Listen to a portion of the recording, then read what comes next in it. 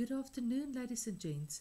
Well, today we are going to focus on a little bit of trigonometry and we are um, going to look at exercise 10c from uh, the Pure Maths 1 uh, textbook um, by Hugh Neill and Douglas Quadling.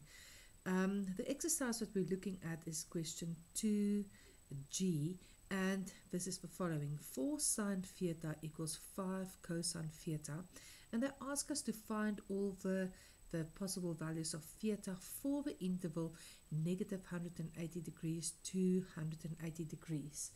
Okay so um, the first step here would be to to to look at that. What do we have? What is the relationship between sine and cosine? And we know that let me just take this um, highlight the figure koki that if we have tan theta tan theta equals sine theta over cosine theta so we are going to use this identity and um, to solve this particular question. Um, I want sine theta over cosine theta so I'm going to divide by cosine theta on both sides of my equation. That would give me 4 tan theta equals 5. I don't want 4 tan theta, I only want tan theta. So I'll divide by 4 on both sides. So tan theta equals 5 over 4. Good. Now we need to just find the inverse. So tan inverse of 5 over 4 equals theta. And if I tap that into my calculator, I get 51.3 degrees.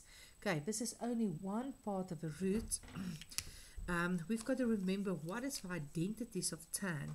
Okay, so tan, the identity is tan theta plus minus 180 degrees equals tan theta. Okay, so we've got to apply this rule for our interval. Um, we've got negative 180 to 180 degrees. So I can see that if I add 180 degrees to this, it will be not within, within the required interval. So I don't want to do that. I would use the subtraction. Um, so tan uh, theta minus 180 degrees equals tan theta. How would I solve this? Let me just move my paper up slightly. That would give me 51.3 degrees minus 180 degrees equals theta. That's theta, and if I tap that into my calculator, I get negative 128.7 degrees. Now let's state the, the answers. Then theta thus would be negative 128.7 degrees and 51.3 degrees and that's my final answer. Good. Let's move on to the next one. Okay, the next question reads, it's question 2H, and um, here we have 2 sine theta equals 1 over sine theta. Let's look at the interval. Well, the interval stayed the same.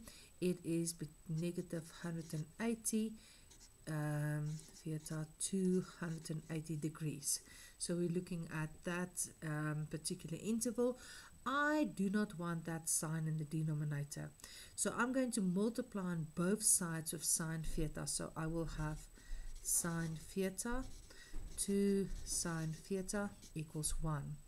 Now this can be simplified as 2 sine squared theta equals 1. I don't want 2 but 2 in front of it, so I'll divide on both sides by 2. So sine squared theta equals a half. Good. Now, I can take the square root on both sides to find sine theta by itself. So square root, square root, sorry. So sine theta equals plus or minus the square root of a half. Now we've got to split the equation to two parts. So sine theta equals positive uh, a half, square root of a half, or sine theta equals negative square root of a half. Okay, because we have, if we take the square root, we know that it must be plus or minus. So if I take the inverse of this one, equals theta, thus it would be, if I tap that into my calculator, I get 45 degrees. Now let's do this side. Sine inverse of negative square root of a half equals theta. So theta, if I tap that into my calculator, I got negative 45 degrees. Okay, now let's see, how do we continue here? Because that's only part of the rules. Um, let's remember the sine rules that we've got to use. My two sine rules is sine 180 degrees minus theta equals sine theta. And then I've got the periodic property that says sine theta plus or minus 360 degrees equals sine theta. Now, just looking at the interval between 100, negative 180 degrees and 180 degrees, I doubt it if we will actually use lots of a periodic property, but it might be useful. So let's just keep it there and see what we what will happen. Okay. Um, so theta is 45 degrees. So if I use this identity, the first identity, I will definitely get another root. So 180 minus 45 equals theta. So theta equals 135 degrees if I did that calculation correctly. And um, I can see that if I add or subtract 360 degrees, I will not be within the required interval. So let's look at the never at the negative one. If I have 180 minus negative 45, I will get theta. And let's put that in parentheses. Theta would be then, um, what did I get there? Sorry, uh, 225. Okay, good. So that's not within the required interval. But if I use, ah, so I did have to use my periodic property. If I use my periodic property, I will surely get uh, a root within the required interval. So um, 225 minus 360 would give me negative 135 degrees and that is within the required interval. So let's list our rule, our uh, um, angles for theta. Theta is negative 135, negative 45, 45 degrees, and 135 degrees, and that's my final answer. Okay. Good, so let's look at the third uh, problem that we will do for today. This is uh, problem 3, um, a question 3a, and here we have an identity or a, a, a cosine graph that's equal to a third, and they ask us to find all the possible roots for theta in the interval 0 to 360 degrees. Okay, so first of all, I don't want to use, I don't want to work with 2 theta. So I'm going to change that. I'm going to move to a beta world. So I'm going to say let 2 theta equals beta. If I change it to a beta world, my interval have to change to beta world as well. So beta will be here and I have to multiply the theta with 2. So 0 times 2 is still going to be 0. And 2 times 360 would give me 720 degrees. So now my equation cosine beta equals 1 third is, um, I have an interval to work with that, okay? So we'll quickly do the problem. Just take the inverse of it. So cosine inverse of a third equals beta. And if I do the calculation on my calculator, I got 70.5 degrees correct to um, uh, one decimal place. Okay, so the rules for cosine, there's two basic rules that we've got to remember. Cosine theta equals cosine negative theta. That's my number one rule. My number two rule is cosine theta plus or minus 360 degrees equals cosine theta. Okay, so two rules that we've got to apply. Um, now let's look. So I, I know that thus beta must also be negative 70.5 degrees. Well, at the moment, it's not within the required interval, but we might be using this to find other roots. So I'm not going to disregard it. Okay, now the second rule is to use my periodic property and add 360 degrees to it. We can look at that. Um, I've got a, I've got a um, angle up to 720, so I can definitely add 360 to this one. So 70.5 degrees plus 360 degrees will also give me a beta. So my beta there, if I do the calculation, would be 430.5 degrees.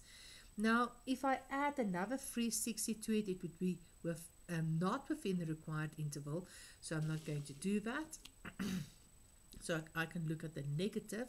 So negative 70.5 degrees plus 360 degrees will give me a beta. And if I do the calculation I will get 289.5 degrees. Okay? I can see that I, I can add another 360 to that. So a 289.5 degrees plus 360 will also give me beta. And if I do the calculation beta will be 6 for 9.5 degrees. Okay, so I've got several betas to work with. Let's look at that.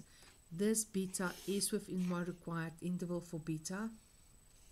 The negative 70.5 is not within the required interval, so not in interval. This one will be part of my interval.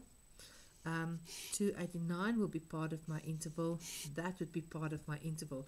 But this is not the final answer because we started off our, e our equation with uh, in the theta world. So I cannot answer my question in beta. I've got to go back to be to theta. So we know that we've set beta. We said um, but beta equals to theta okay? So now I've got to substitute it or actually work it out. I'm just going to go to the next page.